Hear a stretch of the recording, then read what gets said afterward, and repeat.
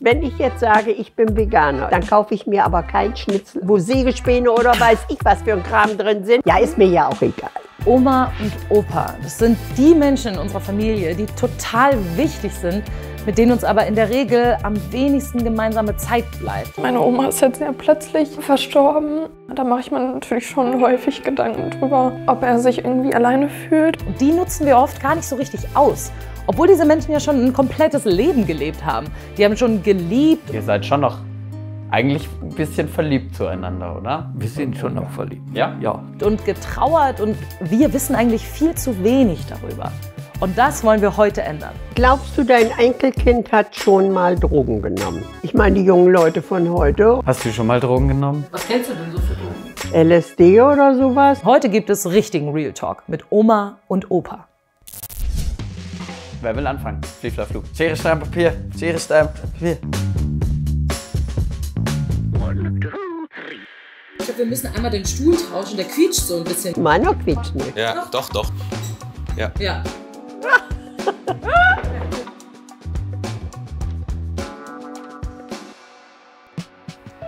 Oh, das ist Weihnachtsmusik.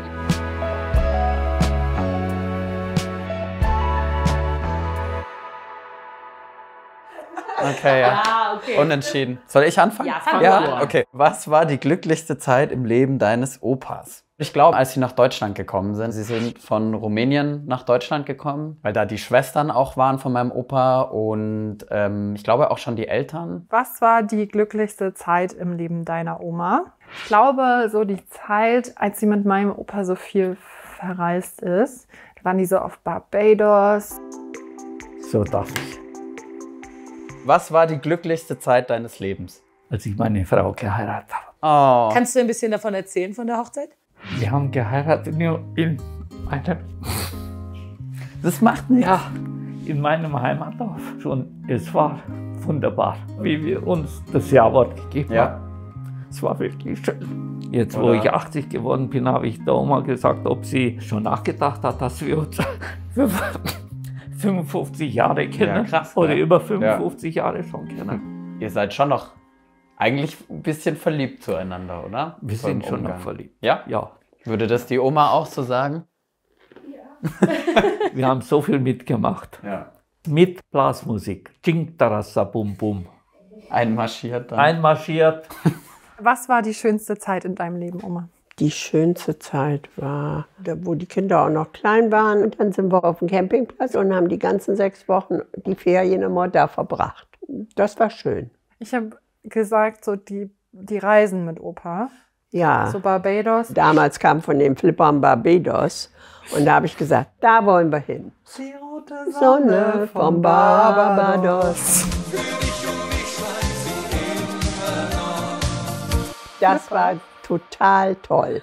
In den Jahren war ja noch die British West Indian Airline. So Flugzeuge gibt es ja heute gar nicht mehr. Das war eine Ausstattung. Allein das schon bei den ganzen Urlaub wert. Damals durfte man hinten dann auf dem letzten Jahr auch noch rauchen. Das Und- war natürlich wichtig. Ne? ja, für uns damals schon. Ja, ja damals hat jeder, es, es gibt doch keinen alten Film, den man sieht, wo keiner eine Flippe im Hals hat.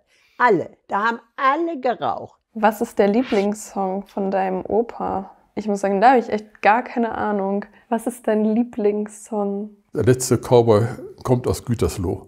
Das waren Zeiten, als wir travelten von Town zu Town, von Frown zu Frown. Glaubst du, dein Enkelkind hat schon mal Drogen genommen? Versucht wird es vielleicht mal haben. Ich meine, die jungen Leute von heute wollen wissen, wie das vielleicht ist. Warum nicht? Hast du schon mal Drogen genommen? Nein, zu meiner Zeit, Jugendzeit, hat es das nicht gegeben. Auch kein Gras oder so? Nein, Das ist das Nein, irgendwo. nix. Das hat es nicht gegeben bei uns. Krass. Hast du schon mal Drogen genommen? Ach so, ja. Aha! Aber was denn? Also was Ich habe gesagt, ich hätte es dir zugetraut, dass du es mal ausprobiert Aber hast. also was denn? Naja, Drogen. Was kennst du denn so für Drogen, Inge? LSD oder sowas und diese komischen so Bondchen. So ein Hustenbonchen. ja, Ecstasy, meine ich. Nee, also sowas Hartes habe ich noch nie genommen. Es gibt ja so Brownies, die man auch backen kann mit Gras. Und das habe ich einmal probiert. Glaubst du, deine Oma hat schon mal Drogen genommen? Nee, glaube ich nicht. Also meine Oma hat äh, geraucht und getrunken. Getrunken hört sich schlimm an, aber ich meine, gut, gut gefeiert haben wir schon. Machen immer. wir immer noch, ne? Ja, mach ich auch jetzt noch. Also so ein halber Liter Aperol, das war kurz Ja, vorm Eimer das- Sangria. Ja, und das bei 24 Grad in der Sonne kann man doch trinken, oder? Ja, aber ich fand das heiß, dass meine 80-jährige Oma da so einen halben Liter weghaut. Ja, das war nicht schwierig. Nee, glaube ich.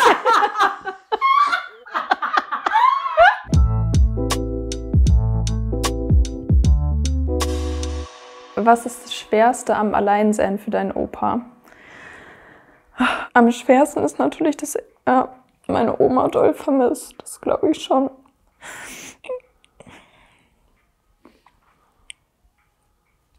Meine Oma ist jetzt sehr plötzlich verstorben. Da mache ich mir natürlich schon häufig Gedanken drüber, ob er sich irgendwie alleine fühlt. Glaubst du, es gibt konkrete Momente, wo dein Opa merkt, okay, jetzt ist es gerade irgendwie schwer, alleine zu sein? Die Situationen, wo man vielleicht doch mal was Besonderes erlebt oder was Aufregendes erlebt und da vielleicht erstmal im ersten Moment niemand ist, mit dem man das so teilen kann, wie man das vielleicht mal hatte.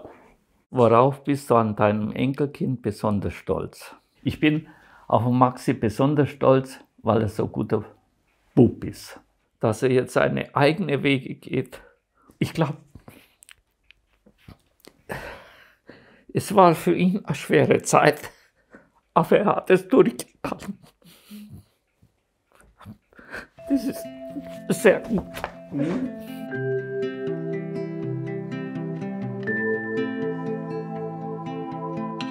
Die Frage ist, Opa, was ist das Schwerste am Alleinsein für dich?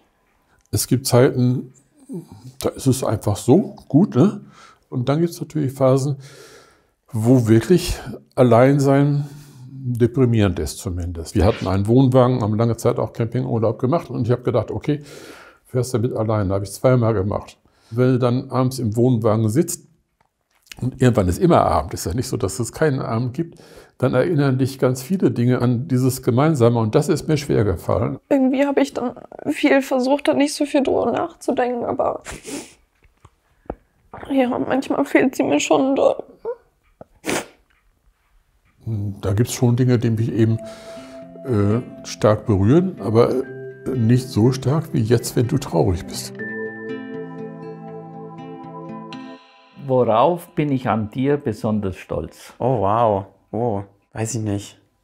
Bin ich fleißig? Nee, nicht so, ne? Ich habe erzählt, dass du so guter Bub warst. Und was ich noch gesagt habe, für die späteren Jahre bin ich stolz, dass du deinen Weg gegangen bist. Oh, Der Weg, der was für dich nicht einfach war. Oh wow, okay. Ja, wie ich das hundertprozentig gewusst habe, dass du schwul bist, da habe ich geweint, Ja? weil ich habe mir gedacht, die Gesellschaft ist ja noch nicht so weit oder viele, dass man das einfach akzeptieren kann. Oma und ich, wir haben es akzeptiert. Und da hat es mir leid getan. So habe ich das noch nie gehört irgendwie, aber ich finde das Wir wusste haben ich gar noch nicht, nie- aber ich finde es Nie über das Nee. gesprochen. War das für dich direkt am Anfang okay? Ich habe das akzeptiert. Wenn er das so empfindet und er das so will haben, dann habe ich das akzeptiert gleich. An was ich noch gedacht habe, muss ich schon sagen, der Maxi ist so ein schöner Bub.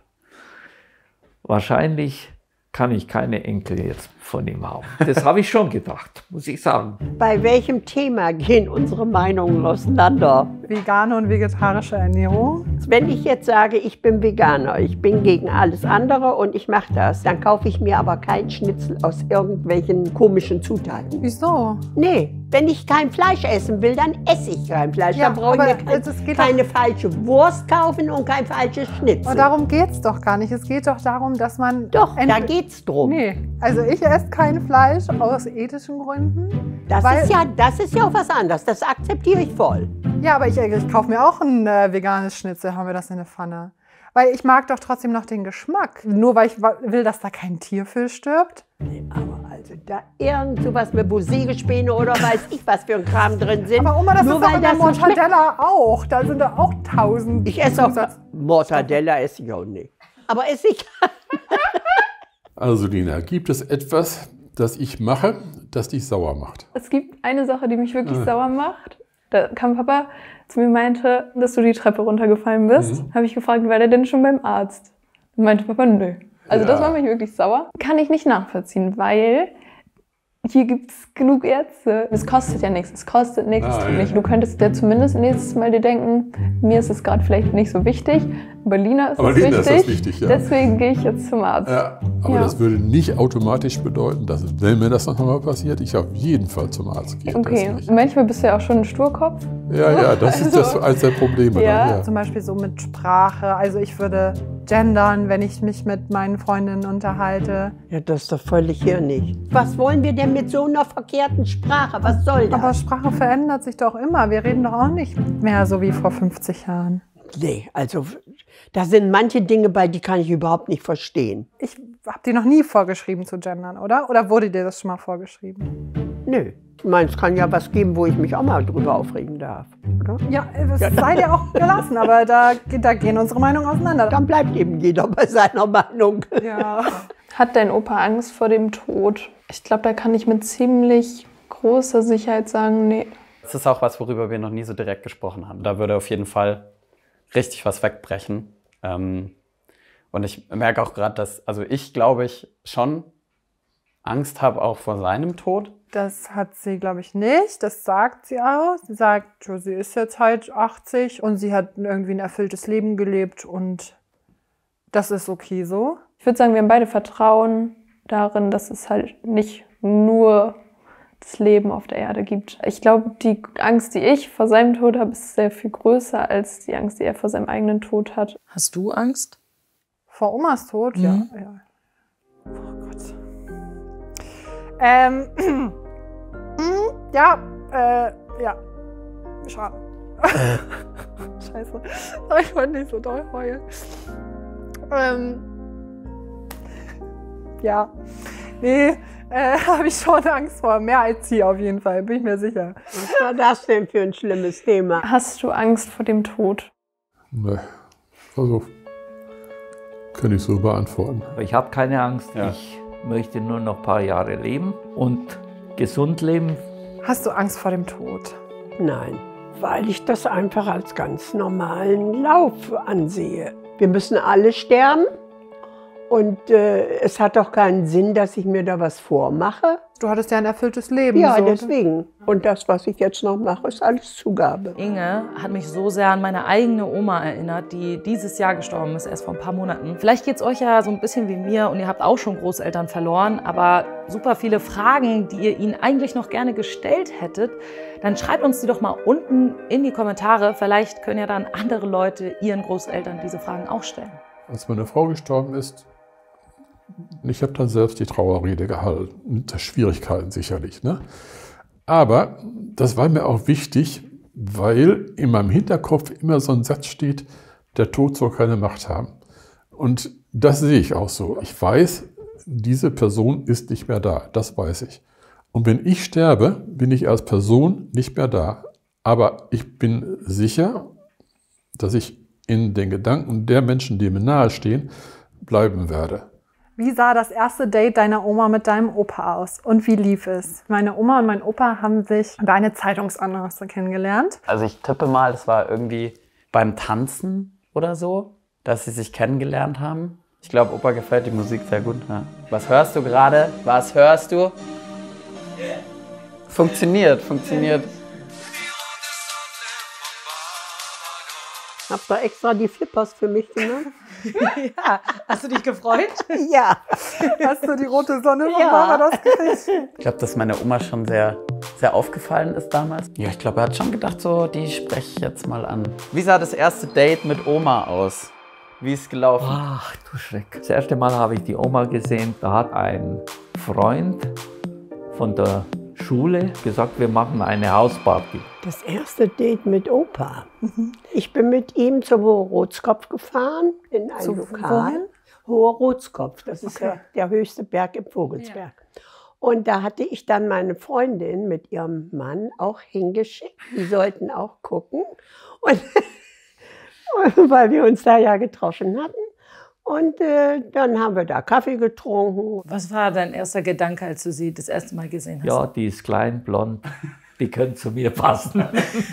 Wir haben uns verabredet, dass wir uns nochmal sehen. Nächsten Samstag um die Uhrzeit treffen wir uns wieder. Haben sich beide dran gehalten? Haben sich die Oma? beide dran gehalten. Was war dein erster Eindruck von dem Opa? Eigentlich so gar nicht so doll.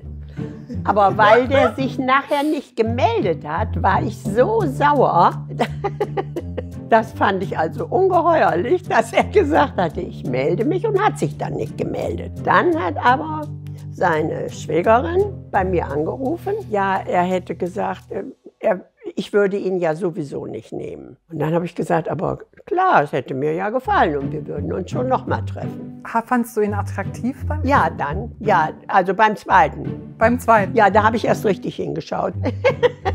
War ja auch ein schmucker Kerl, Opa, so, ne? Ja. Ja, früher ging das alles auch Naja, immer ich war auch nicht ne? gerade Du hässlich. war, nein, nein, nein, das wollte ich nicht sagen. Würdest du das nochmal so machen? Ja, würde ich auch wieder so machen. Und wir waren 58 Jahre verheiratet. Was glaubst du, möchte Lina noch mit dir erleben? Also ich vermute mal, dass Lina schon gerne erleben würde, dass ich sie noch ein Stück begleiten kann. Einfach bei der nächsten Entwicklung in ihrem Leben, dass sie mich doch an der Seite hat, wie ein Fels, auf dem sie stehen kann.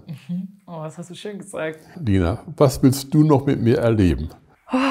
Eigentlich viel. Als du deinen Wohnwagen noch hattest, da hatten wir schon mal überlegt, zusammen in die Berge zu fahren und zu Ja. wandern. Das finde ich nochmal schön auf Ja. jeden Fall. Das würde ich gerne nochmal machen. Vielleicht nochmal ein bisschen intensivere Zeit. Wir hatten jetzt ja schon auch einige Situationen, jetzt vor allem über das letzte Jahr, wo ich dich angerufen habe. Und irgendwie das, mir ging es nicht gut und ich habe Ja. irgendwie, ja, aber muss ich jetzt langsam ein bisschen weinen. Das muss so sein, das ist völlig okay. Ja, Ja, dafür hast du einen Opa. Ja, und ich glaube, du bist halt manchmal ja, eine sehr, sehr große Stütze für mich. Ja, aber will ich auch sein. Ja, und ich habe halt natürlich Angst manchmal, dass das irgendwann nicht mehr ist. So. Ich werde irgendwann sterben. Das wird nicht bedeuten, dass da nichts mehr ist. Du wirst nicht ohne Halt sein. Das wird nicht sein. Ja. Mir rollt dann auch eine Träne so, ne? Ich kann nicht aushalten, wenn sie weint. Wir hatten einige Fragen im Gepäck, aber es ist jetzt noch nicht vorbei, denn jetzt bekommt jeder die Möglichkeit, noch eine eigene Frage zu stellen. Hast du mal, mal überlegt, dich von Opa zu trennen? So in den ersten Jahren, naja, wie soll ich sagen, ich, ich war auch ein bisschen eifersüchtig. Ja. Manchmal ein bisschen mehr. Obwohl es nachher sich herausgestellt, dass es eben nichts war. Aber naja, Eifersucht fragt da nicht nach. Ich hatte dann die Kinder schon im Auto und wollte zu meinen Eltern Echt? fahren. Ja. Und dann bin ich aber nur bis auf den Hof gekommen, dann bin ich wieder zurück. Dass die Ehe so kaputt gewesen wäre, dass ich mich hätte trennen wollen, das war es nie. Ich habe ja, wie gesagt, meinen Opa vergöttert. Bis zum geht nicht mehr, aber ich hätte es mit dem nicht ausgehalten. Ja, weißt du, Liebe fragt da nicht nach. Ich habe eben den Mann geheiratet, den ich wirklich liebte und äh, mit dem ich gut zusammengepasst habe. Und da wäre ich da nie drauf gekommen. Also jedenfalls jetzt nicht ernsthaft. Ich könnte ihn fragen, warum er nie Fußballfan geworden ist. Ich bin so ein Bayern-Fan. Sein Vater ist ein Bayern-Fan. Seine Mutter war ein Bayern-Fan. Warum er nie Fußball geliebt hat.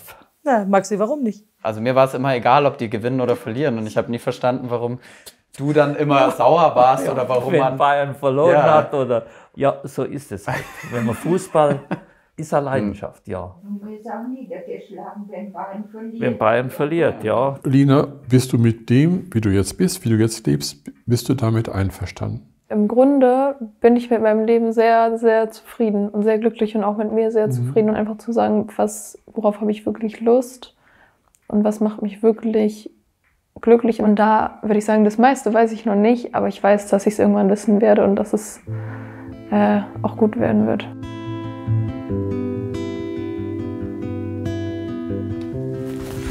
Sehr schön, Maxi. Doch, war es schon wichtig. Mein Bild jetzt, was ich von dir habe, hat sich ehrlich gesagt überhaupt nicht verändert. Es ist so, wie ich dich liebe. Ich dich auch. Ich fand's toll. Ich fand es auch richtig schön, dass wir das gemacht haben. Du bedeutest mir wirklich, wirklich viel, Oma. Leute, wenn euch das Video gefällt, würden wir uns freuen, wenn ihr das weiterschickt in eure Familiengruppe. Und wenn ihr eure Großeltern noch habt, dann stellt ihnen mal diese Fragen, weil glaubt mir, ihr werdet es nicht bereuen. Wenn ihr jetzt Bock habt auf noch mehr weihnachtlichen Content von uns, dann klickt doch mal hier oben. Und hier unten kommt jetzt so ein richtig coolen Video von den Datteltätern und hier könnt ihr uns ein Abo dalassen. Frohe Weihnachten!